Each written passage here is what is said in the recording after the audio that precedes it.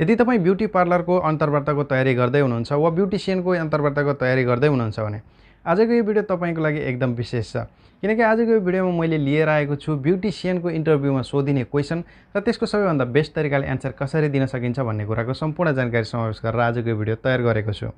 यो भिडियोमा मैले तपाईँलाई क्वेसन बताउनेछु र त्यसलाई नेपालीमा राम्रोसँग एक्सप्लेन गरिदिनेछु र इङ्ग्लिसमा तपाईँले कसरी एन्सर दिन सक्नुहुन्छ भनेर एउटा इक्जाम्पल पनि राखिदिनेछु। र आशा छ पक्कै पनि हजुरहरूलाई यो भिडियो मनपर्नेछ।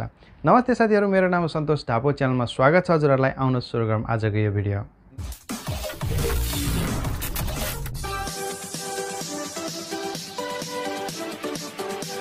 तपाईँलाई नर्मली रूपमा यदि तपाईँ विदेश जाँदै हुनुहुन्छ भने तपाईँको अन्तर्वार्ता इङ्ग्लिसमै हुन्छ र तपाईँले हल्का फुल्का इङ्ग्लिस बोल्न सक्नुपर्ने हुन्छ जस्तै कि हाई हेलो भयो वा फर्मल इङ्ग्लिस चाहिँ तपाईँले यदि बोल्न सक्नुभयो भने एकदम राम्रो हुन्छ। र त्यहाँनिर कस्ता कस्ता क्वेसनहरू सोधिन्छन् म इक्जाम्पल पनि दिन्छु र त्यो क्वेसनका एन्सर पनि दिएर तपाईँलाई देखाउनेछु। र तपाईँलाई सर्वप्रथम अन्तर्वार्तामा जाँदाखेरि कुनै पनि अन्तर्वार्ता तपाईँको परिचयबाट सुरु हुन्छ। अन्तर्वार्ताकारले तपाईँको परिचय यसरी लिन सक्छ। तपाईँलाई hello how are you what is your name how old are you are you married where are you from tell me your study level do you have any experience do you work any country before भनेर यसरी question सोधिन सक्छ। वा यो बाहेक पनि तपाईँलाई यसरी सोधिन सक्छ। Tell me about yourself introduce yourself भनेर यसरी तपाईँलाई क्वेसन सोधिन सक्छ। यानि कि तपाईँको परिचय बताउनुहोस् या तपाईँको आफ्नो बारेमा बताउनुहोस् भनेर यसरी क्वेसन सोधिन सक्छ। यस्तो अवस्थामा तपाईँले अहिले जे जे कुराहरू बताउनु भयो त्यही कुरालाई समावेश गरेर एकमुष्टमा तपाईँले बताइदिन सक्नुहुन्छ। जस्तो कि तपाईँले बताइदिन सक्नुहुनेछ। Hello my name miss Santosh Paudel I live in Makwanpur Nepal I am a twenty seven years old I have done diploma in spa therapy I have a four years experience as a beautician and am a married भनेर नि तपाईँले यसरी बताउन सक्नुहुन्छ। तपाईँसँग जुन study छ त्यसलाई बताउन सक्नुहुनेछ।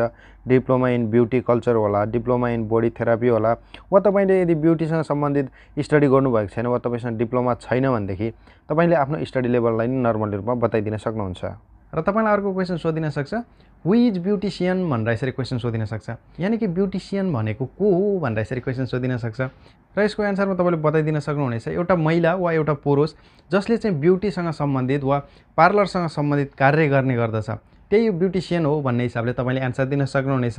तपाईँले यसको एन्सर यसरी दिन सक्नुहुन्छ। A beautician is a trained professional that use a range of cosmetology technique to provide hair, nail, makeup or skin care service to their clients भनेर तपाईँले यसरी बताउन सक्नुहुन्छ।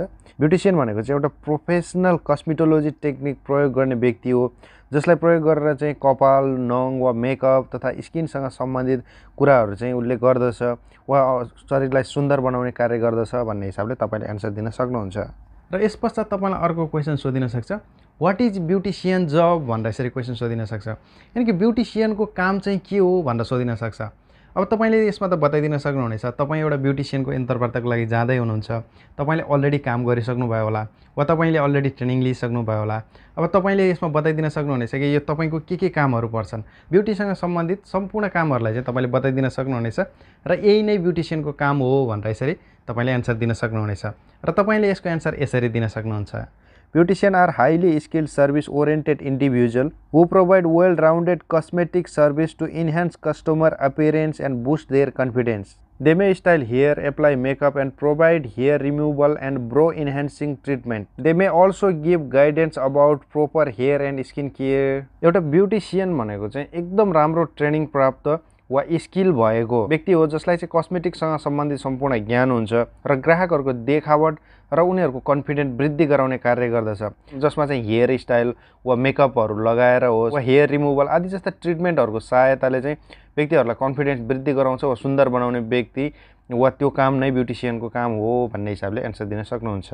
र तपाईँलाई अर्को क्वेसन सोधिन सक्छ what is the role of beautician or what is the duty and responsibility of beautician भनेर यसरी क्वेसन सोधिन सक्छ। यहाँनिर मैले अघिदेखि बताइदिएँ who is beautician what is beautician job or what is the duty and responsibility of beautician भनेर यसरी क्वेसनहरू चाहिँ तपाईँलाई यी सबै क्वेसन सोधिन पनि सक्छ। वा यो भित्रमध्येको कुनै एउटा क्वेसन सोधिन पनि सक्छ। अन्तर्वार्तामा जाँदाखेरि। आखिर सबै क्वेसनको एन्सर भनेको लगभग लगभग उस्तै हुने गर्दछ। र तपाईँले ब्युटिसियनको ड्युटी एन्ड रेस्पोन्सिबिलिटीलाई यसरी बताइदिन सक्नुहुन्छ। Beautician responsibility including removing hair, recommending skin care, therapy, and managing clientele appointments. You should be well versed in a beauty treatment including hair styling, makeup, facial, hair removal, manicure, and pedicure. र तपाईँलाई अर्को question सोधिन सक्छ tell me about your style of working भनेर यसरी question सोधिन सक्छ यानि कि तपाईँले कस्तो तरिकाले चाहिँ काम गर्नुहुन्छ वा तपाईँको चाहिँ कस्तो तरिका रहेको छ काम गर्ने भनेर यसरी क्वेसन गरिन सक्छ यस्तो अवस्थामा तपाईँले बताइदिन सक्नुहुनेछ कि तपाईँ एउटा क्विक लर्नर हुन सक्नुहुन्छ। काममा गइसकेपछि तपाईँको जे जे काम हो त्योभन्दा पनि अझ बेस्ट गर्नको लागि चाहिँ तपाईँले के के सिक्नुहुन्छ वा के के नयाँ चिजहरू चाहिँ तपाईँले अप्लाई गर्नुहुन्छ वा तपाईँले एउटा कस्टमरलाई सेटिस्फाइड गर्नको लागि चाहिँ के के ट्रिकहरू अप्नाउनुहुन्छ भन्ने हिसाबले तपाईँलाई यसरी क्वेसन गरिन सक्छ। र यस्तो अवस्थामा तपाईँले आफूले के के गर्नुहुन्छ ती कुराहरूलाई बताउन सक्नुहुन्छ वा मैले यहाँनिर एउटा इक्जाम्पल राखिदिएको छु तपाईँले यो हिसाबले एन्सर दिन सक्नुहुन्छ। I am a very quick study and use my free time to further my skill and research here techniques. I am a great with time management, have a lot of customer service experience and a strong work ethic. I am passionate about all thing here but my true love is in hair styling and updo भनेर यसरी बताउन सक्नुहुनेछ यानि कि तपाईँ फ्रीको टाइममा चाहिँ कोही न केही चिजहरू सिकिराख्नुहुन्छ वा नयाँ नयाँ हेयर टेक्निकहरू सिक्नुहुन्छ जुन चाहिँ तपाईँलाई मनपर्छ र तपाईँ भविष्यमा पनि त्यही हेयरसँग सम्बन्धित काम गर्न चाहनुहुन्छ र सबैभन्दा तपाईँलाई मनपर्ने कुरा भनेको चाहिँ हेयर स्टाइलिङसँग सम्बन्धित कुरा चाहिँ तपाईँलाई एकदम मनपर्छ भन्ने हिसाबले तपाईँले एन्सर दिन सक्नुहुन्छ। र तपाईँलाई अर्को क्वेसन सोधिन सक्छ how do you feel about selling professional product or do you prefer selling product in a beauty parlour or beauty salon भनेर यसरी क्वेसन सोधिन सक्छ। यानि कि के तपाईँ चाहिँ एउटा राम्रो खालको प्रडक्टहरू चाहिँ सलुनभित्रबाट सेल गर्नुहुन्छ यो प्रडक्टहरू बेच्नको लागि चाहिँ तपाईँ प्रिफर गर्नुहुन्छ वा तपाईँ चाहिँ यसमा इन्ट्रेस्टेड हुनुहुन्न भन्ने हिसाबले तपाईँलाई क्वेसन गरिन सक्छ। तपाईँ एउटा पार्लरभित्र काम गरिरहनु हुँदाखेरि तपाईँले आएको कस्टमरलाई त ह्यान्डल गर्नु नै पर्ने हुन्छ। वा तपाईँले प्रडक्टहरू चाहिँ त्यहाँनिर युज गर्नुपर्ने हुन्छ। तपाईँले कस्टमरहरूलाई चाहिँ त्यो अप्लाई गर्नुपर्ने हुन्छ। र त्यसका बावजुद पनि तपाईँले अब कस्टमरहरूलाई चाहिँ प्रडक्टहरू पनि सेल गर्न सक्नुहुन्छ। जस्तै कि भयो तपाईँले हेयर स्ट्रेट गर्नुभयो। त्यसमा लगाउनु पर्ने हेयर कन्डिसनरहरू क्रिमहरू हुन्छन्। त्यो चाहिँ तपाईँले आफ्नो हिसाबले चाहिँ कुन चाहिँ बेस्ट प्रडक्ट हो भनेर तपाईँले त्यसलाई सेल गर्न सक्नुहुन्छ र त्यो सेल गरे बापत तपाईँले एक्स्ट्रा इन्कम पनि जेनेरेट गर्न सक्नुहुन्छ। तपाईँले चाहिँ ब्युटी सलुनभित्र गरेको कामभन्दा पनि ती प्रडक्टहरूबाट आउने कमिसनको आधारमा चाहिँ त्यो एउटा सलुनको चाहिँ इन्कम डिपेन्ड हुने गर्दछ।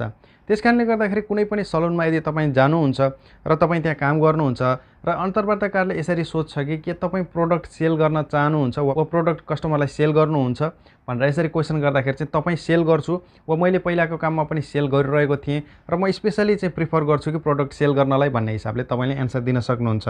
किनकि त्यो प्रोडक्टबाट त्यो सलुनले धेरै राम्रो इन्कम गर्ने हुनसक्छ र तपाईँले त्यो प्रोडक्टहरू सेल गर्दाखेरि चाहिँ कस्टमरहरूलाई चाहिँ राम्रोसँग क्याच गर्न सक्नुहुन्छ। र यदि त्यो साँच्चीकै राम्रो प्रोडक्ट तपाईँले कस्टमरलाई अफर गर्न सक्नुभयो भने त्यो तपाईँको रेगुलर कस्टमर हुने गर्दछ वा अन्य कुनै प्रोडक्ट तथा सर्भिस लिनको लागि तपाईँ समक्ष आउने गर्दछ र त्यसले एउटा बोन्ड पनि बनाउने गर्दछ। र साथीहरू तपाईँलाई आजको यो भिडियो कस्तो लाग्दैछ?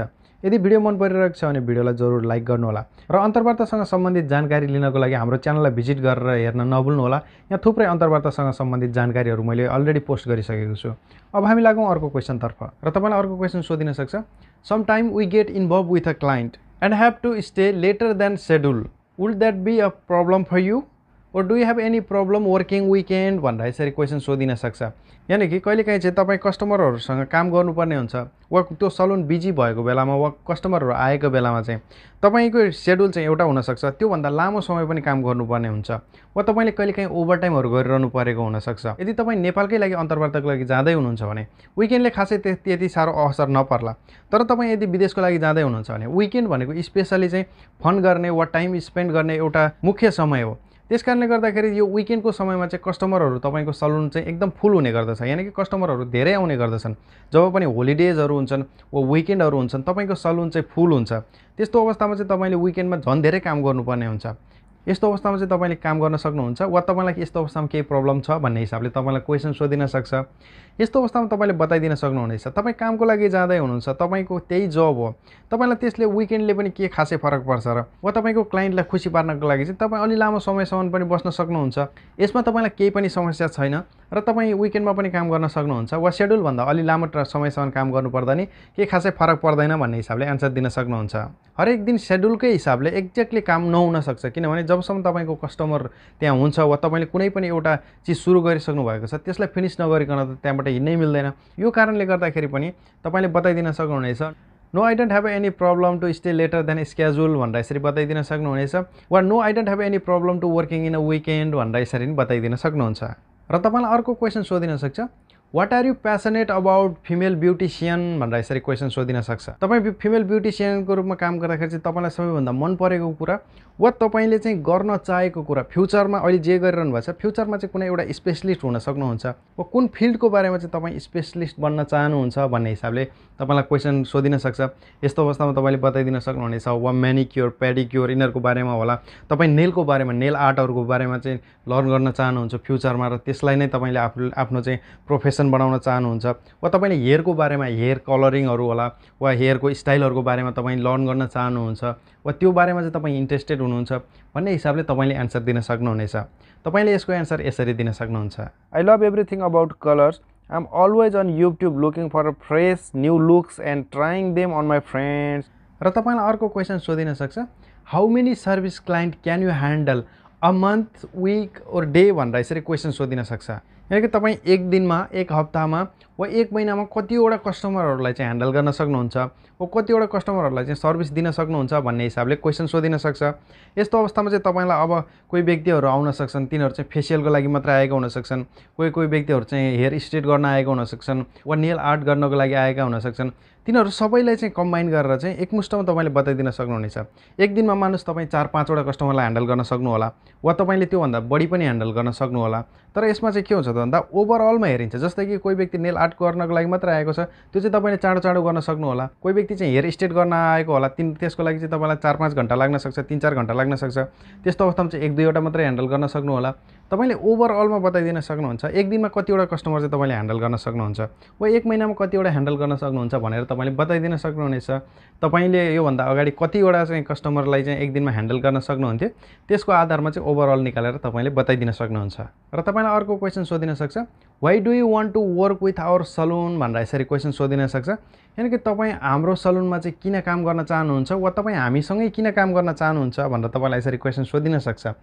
यस्तो अवस्थामा तपाईँले बताइदिन सक्नुहुनेछ तपाईँको फ्युचरको गोलहरूलाई बताउन सक्नुहुन्छ वा तपाईँले यो सलुनमा आइसकेपछि नयाँ नयाँ स्किलहरू सिक्न सक्नुहुन्छ भन्ने कुरालाई बताउन सक्नुहुन्छ वा तपाईँलाई त्यो सलुनको बारेमा चाहिँ के कुराहरू मनपर्छ भनेर ती कुराहरूलाई तपाईँले बताइदिन सक्नुहुन्छ। र यदि तपाईँ विदेशको लागि ट्राई गर्दै हुनुहुन्छ भने तपाईँले गएर सरस्वती गुगलमा त्यो सलुनको बारेमा सर्च गर्न सक्नुहुन्छ र तपाईँले भविष्यमा चाहिँ त्यो सलुनमा गइसकेपछि के के कुराहरू चाहिँ गर्न सक्नुहुन्छ भन्ने हिसाबले बताइदिन सक्नुहुनेछ वा तपाईँ यसरी नै बताउन सक्नुहुनेछ कि? This is a great privilege to improve my skill and I want to open my own salon in the future so I can get a experience in your salon भनेर यसरी पनि तपाईँले एन्सर दिन सक्नुहुन्छ। साथीहरू यो त थिए ब्युटिसियनको इन्टरभ्यूमा सोधिने क्वेसन एन्ड एन्सर र मैले अर्को भिडियोमा लिएर आउनेछु ब्युटी पार्लरमा सोधिने क्वेसन तथा एन्सरहरू तपाईँलाई अन्तर्वार्ताको लागि बेस्ट अफ लक साथीहरू बबाई फेरि भेटौँला।